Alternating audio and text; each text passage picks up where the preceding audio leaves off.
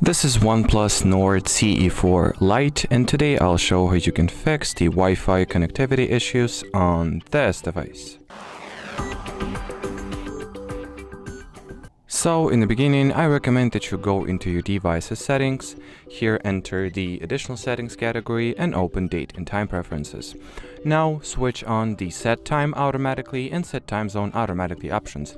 And what it does, it makes sure that your date and time are set correctly since if they are not uh, and your uh, device is generally out of sync in terms of time and date or time or date, uh, you will not be able to access internet services. So that's the first thing that I recommend you check or try.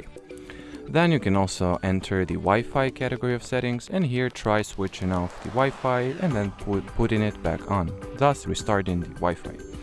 You can also forget the network you are connect currently connected to while you are experiencing those connectivity problems by opening the About This Network page and well, tapping at the Forget icon here and then try reconnecting your device to the very same Wi-Fi network to see if it will fix your issue.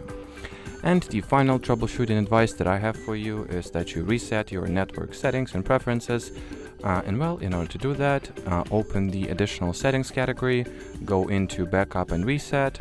Next, uh, reset phone and select reset network and Bluetooth settings option. Then click on reset, wait a few seconds, and the deed is done. And this video is done as well, so thanks for watching and bye bye.